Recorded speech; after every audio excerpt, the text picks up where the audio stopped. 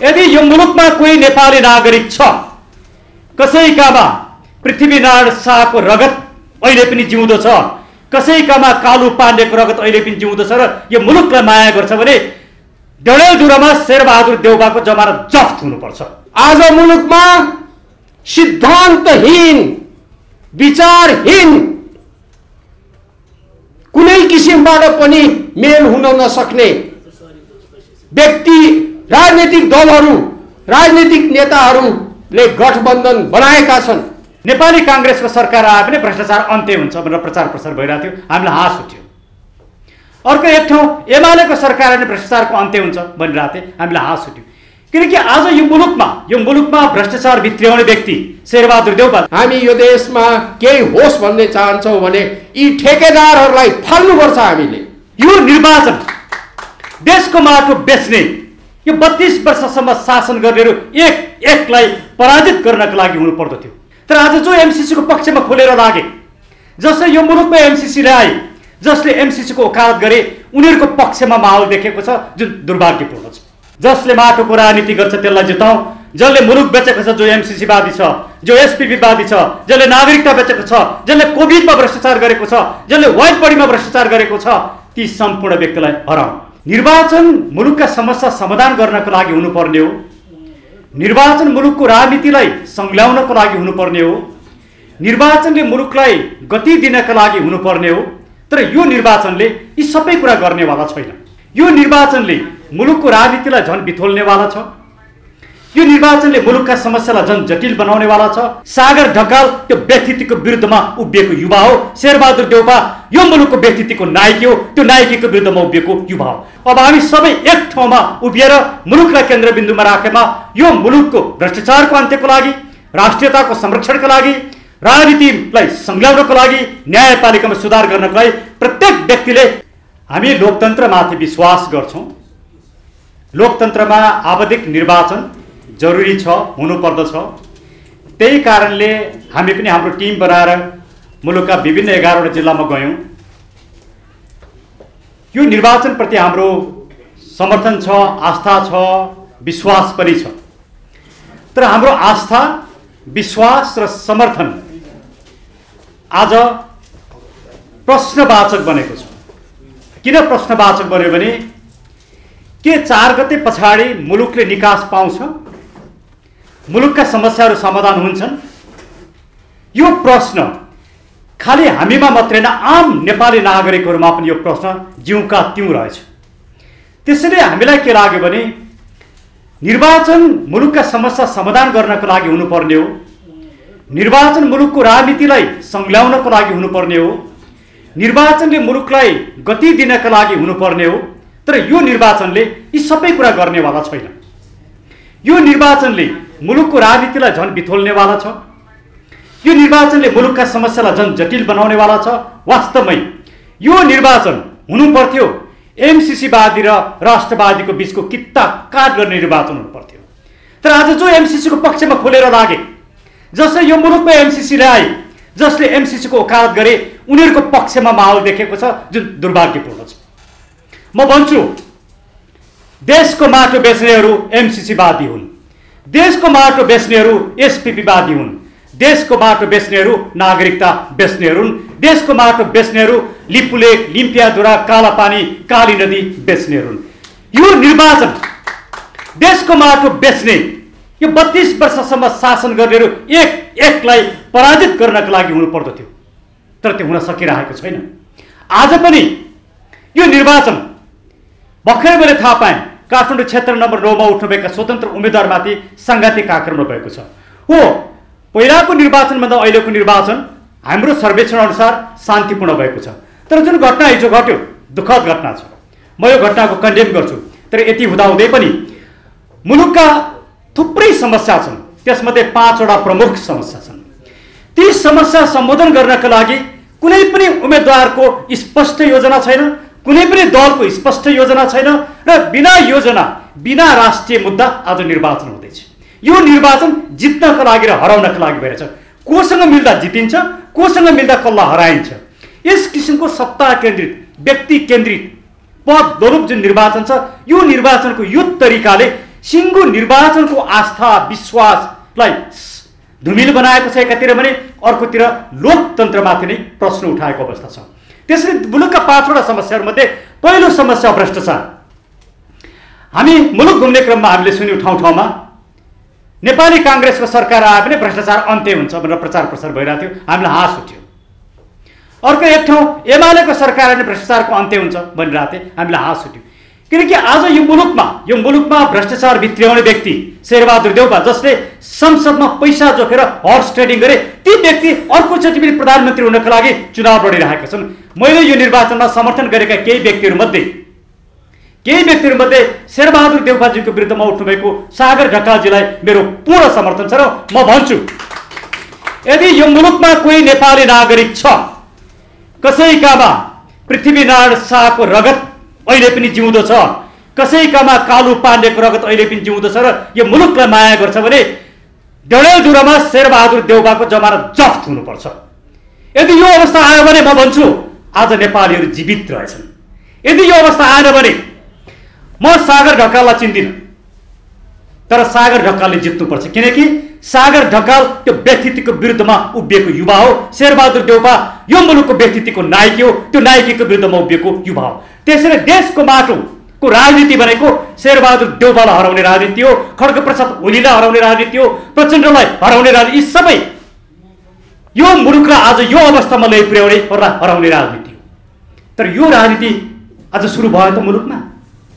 भएन। कि स्वतन्त्रहरूले यो राजनीति गर्न सके? या स्वतन्त्र मित्र पनि हुनुहुन्छ? स्वतन्त्रहरूले बिना राजनीतिक एजेन्डा बिना पोलिटिकल थट म मात्रै जित्नुपर्छ। एकै ठाउँमा चालिसजना स्वतन्त्रहरू उठेका छन् एउटै अर्कोलाई सहयोग गर्दैन।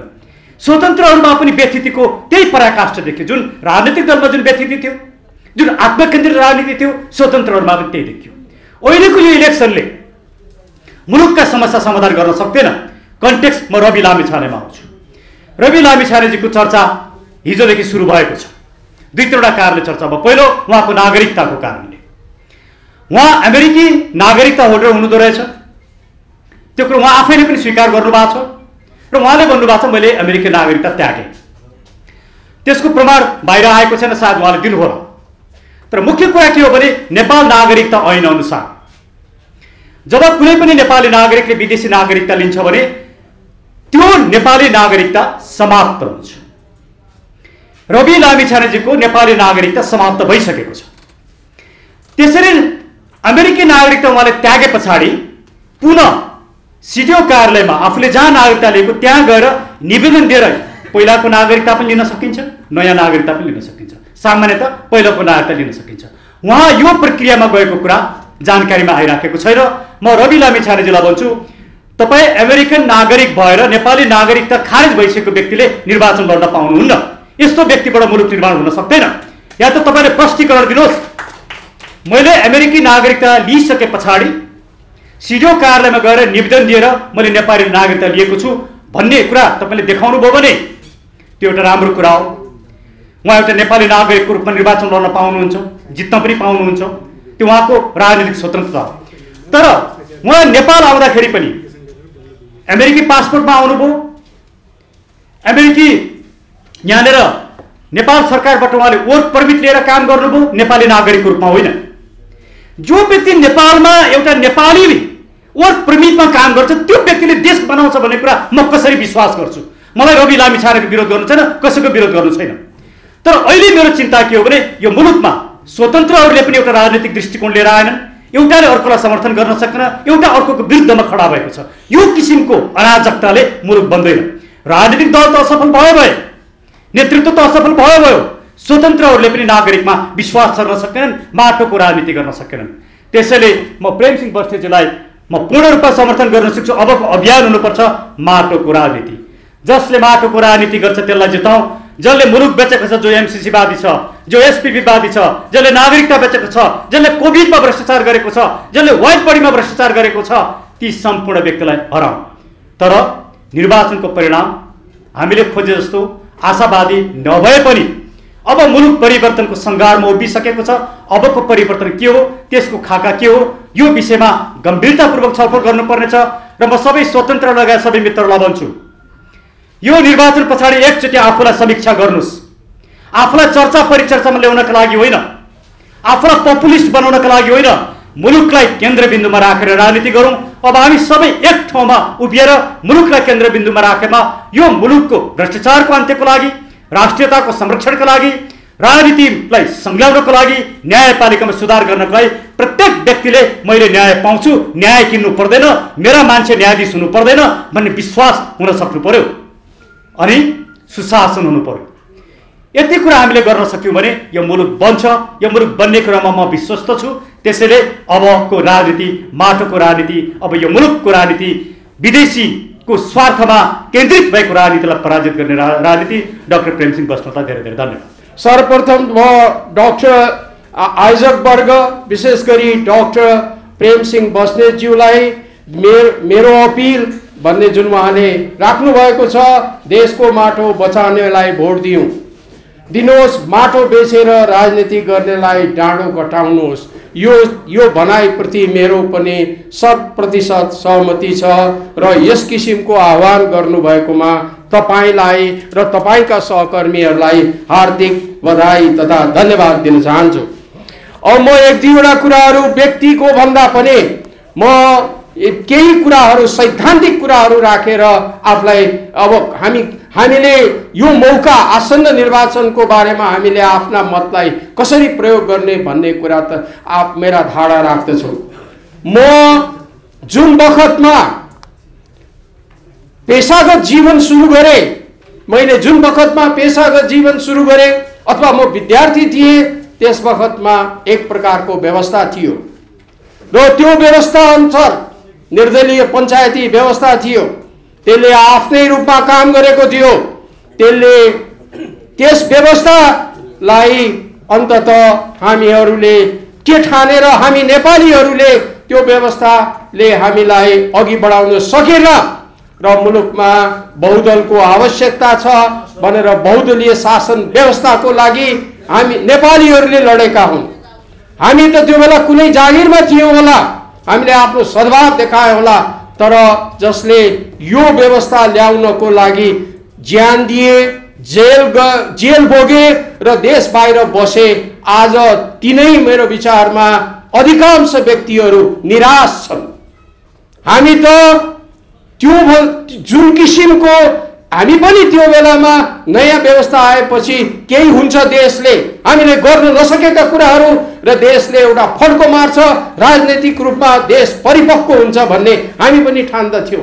तर अहिले भर्खरै आसन्न निर्वाचनको बारेमा अध्ययन गर्न गएका बाह्र जिल्लामा आम नागरिकसँग भेटघाट गर्दा निर्वाचनप्रति कुनै किसिमको चाखै छैन कुनै किसिमको उमङ्गै छैन वितृष्णा छ। त्यसलाई मैले सैद्धान्तिक रूपमा हेर्ने हो भने मैले पढेको र मलाई पढाइएका राजनैतिक सिद्धान्त भनेको बहुदल व्यवस्था भन्ने बित्तिकै सिद्धान्तमा आधारित हुन्छ। सिद्धान्तको लडाइँ हुन्छ। सिद्धान्तको आधारमा आवधिक रूपमा निर्वाचनमा जाँदाखेरि त्यो सिद्धान्त आफ्ना सिद्धान्तको आधारमा मत मागिन्छ। तर आज तपाईँ हामीले के देखिरहेका छौँ? मुलुकमा ठेकेदारी प्रथा चलेको छ। आज मुलुकमा सिद्धान्तहीन विचारहीन कुनै किसिमबाट पनि मेल हुन नसक्ने व्यक्ति राजनीतिक दलहरू राजनीतिक नेताहरूले गठबन्धन बनाएका छन्। त्यो गठबन्धन के को लागि? भन्दा तपाईँ हाम्रो हितको लागि होइन। हामीले हाम्रो हाम्रो जीवनलाई हाम्रो जीवनलाई सहज र सरल बनाउनको लागि होइन पदमा पुग्नको लागि ठेकेदारी गर्नको लागि र भ्रष्ट पदको दुरुपयोग गरेर आफू र आफ्ना नातेदार आफ्ना आफ्ना नातेदार चिन आफ्ना चिनिएका व्यक्तिहरू अथवा आफूलाई समर्थन गर्ने व्यक्तिहरूको लागि पद दिनको लागि यो किसिमको जसरी हुन्छ त्यो पदमा बस्नको लागि गरिएको यो गठबन्धन एक प्रकारले सिद्धान्तहीन गठबन्धन हो। जुन गठबन्धनको बारेमा कुन आम जनता आफै पनि बे उनीहरूलाई यो कस्तो किसिमका नेता हुन् हामीलाई जसले हामीलाई बौद्ध ल्याउनलाई ल्याए जसले नेपालमा बौ मुलुकमा बौद्ध ल्याए जसले गणतन्त्र ल्याएर हामीलाई स्वत सार्वभौम बनाए भन्छन् तर उनीहरूमा कुनै किसिमको सिद्धान्त त रहेनछ उनीहरू केवल सिंहदरबारको कुर्सी र पदको दुरुपयोग गर्न जसरी हुन्छ पदको दुरुपयोग पदको उपयोग गरेर आफ्नो हितको लागि गठबन्धन बनाउँदा रहेछन् भन्ने धारणा हामीले स्थलगत रूपमा पनि अनुभूत गऱ्यौँ र यहाँ पनि त्यो व्यापक रूपमा धारणा आएको छ। र देखिएको छ सुनिएको छ म पनि त्यसमा विश्वास मलाई पनि लाग्छ यी नेताहरू जसले भने कि हामीले जेल भोग्यौँ जसले भन्छन् हामीले देश बाहिर बस्यौँ प्रजातन्त्र ल्यायौँ लोकतन्त्र ल्यायौँ के ल्यायौँ के ल्यायौँ तर के को कसको लागि ल्याएको रहेछ भन्ने कुरा यिनीहरूको जुन अहिलेको अपवित्र गठबन्धन छ र जसरी पनि सत्तामा पुग्ने उनीहरूको सोच छ त्यसले छर्लङ्ग पारेको छ। उनीहरू मुलुकमा ठेकेदारी प्रथा चलाउन चाहन्छन्। उनीहरू प्रजातन्त्रको नाममा हाम्रो मत हामीलाई लोभ्याएर आफ्नो स्वार्थ सिद्ध गर्न चाहन्छन्। यो कुरा मैले मेरा गुरुहरू जो मरिसके मलाई जसले राजनीति शास्त्र पढाएका थिए तिनीहरू मरिसके तिनीहरू पनि स्वर्गबाट हाँस्दै होलान्। कि कस्तो व्यव कस्तो व्यवस्थामा मेरा विद्यार्थीहरू बसिरहेका छन् भन्ने। अब हेर्नुहोस् अर्कोतिर निर्वाचन खर्च खर्चालु हुनु त छँदैछ।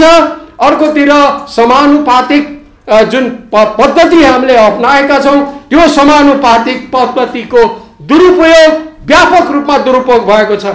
परिवारवाद नातावाद र पैसामा ती समानुपातिक यसपालि त्यतिको कुरा सुनिएको छैन अब सुनिएला होइन भने समानुपातिक पदको लागि पैसामा बिक्री पद बिक्री गरिएको छ। अहिले हेर्नु हालसालै तपाईँहरूले देख्नुभयो होला कि अहिलेका नेताहरूका कति जोडी चुनावमा छन् कोही समानुपातिकमा छन् कोही केमा छन् त्यो के को लागि? के को लागि? केवल केवल पद र त्यो पदको उपयोग गरेर आफ्नो स्वार्थ सिद्ध गर्नुको लागि। अब यो स्थितिमा हामी फेरि एकपटक चुनावमा गइरहेका छौँ। कुनै पनि देशमा प्रजातान्त्रिक देशमा चुनाव हुनु स्वाभाविक हो। चुनाव हुन्छ आवधिक चुनाव हुन्छ तर हामी अब मतदाता र त्यस क्रममा यो मुलुकमा पनि चुनाव हुन गइरहेको छ। तर अब हामीले के सोच्ने हो? हामी यिनै ठेकेदारहरूलाई चुनेर पठाउने हो। यिनै अपवित्र गठन गर्नेहरूलाई चुनेर पठाउने हो। र कुनै कुनै नेता त के भन्न थाले भने फलाना नेताले यो गरे फलाना के नेता क्रान्तिकारी एकभन्दा अगाडि बढी क्रान्तिकारी। र त्यसपछि गएर के को क्रान्तिकारी? भन्दा आफ्नो लागि क्रान्तिकारी। आम नागरिकको जीवन स्तरमा खासै परिवर्तन सरकारी क्षेत्रबाट अहिले त सेवा लिन जानु पर्यो भने कति दुःख छ कति कष्ट भोग्नु परेको छ तिनीहरूलाई वास्ता छैन। यो स्थितिमा हामी चुनावमा गइरहेका छौँ। त्यस कारणले मेरो विचारमा अब तपाईँ हामी यदि यो देशका नागरिक हौ सजग नागरिक हौ हामी यो देशमा केही होस् भन्ने चाहन्छौँ भने यी ठेकेदारहरूलाई फाल्नुपर्छ हामीले। हामीले यी देखिए जुन देखिएका अनुहारहरू छन् यी सदा यिनको अनुहार होइन। नो नट एगेन र अब हामीले छान्नु पर्ने भनेको नयाँ अनुहार जसले मुलुकलाई माया गर्छ जसले ठेकेदारी प्रथाको विरोध गर्छ जो राजनैतिक सिद्धान्तप्रति प्रतिबद्ध छ। चाहे त्यो राजनैतिक सिद्धान्त मैले मानौँ वा नमानौँ त्यो राजनैतिक सिद्धान्त बौद्धनी व्यवस्था चल्ने नै राजनैतिक सिद्धान्तको आधारमा हो। त्यसप्रति प्रतिबद्ध छ र अपवित्र गठबन्धन गर्दैन र इमान्दार छ भ्रष्टाचारमा मुछिएका छैन। त्यस्ता व्यक्तिहरू र नयाँ अनुहारलाई हामीले चुन्न सकेनौँ। यिनै ठेकेदारहरूलाई चुन्दै गयौँ भने हाम्रा आगामी दिनहरू कष्टकर हुने निश्चित छ। साथसाथै हाम्रो क्ष स्थलगत भ्रमण एकछिन अगाडि डक्टर सुरेन्द्र भण्डारीले भनिसक्नुभयो मलाई पनि लाग्छ जुन किसिमको परिपाटी छ जुन किसिमको गठबन्धन बनेको छ मुलुकमा फेरि एकचोटि यो गठबन्धनकै सरकार बन्ने सम्भावना छ। मुलुकले निकास पाउला जस्तो लाग्दैन। यस्तो स्थितिमा पनि तपाईँ हामी सजग नहुने हो। यही बिचमा पनि केही व्यक्तिहरू हामीले यी जुन देखिएका अनुहारहरू छन् यीलाई नफाल्ने हो भने हामीले सायद हाम्रो देशको माटो हाम्रो देशको को माटोलाई जोगाउने छैनौँ। धन्यवाद।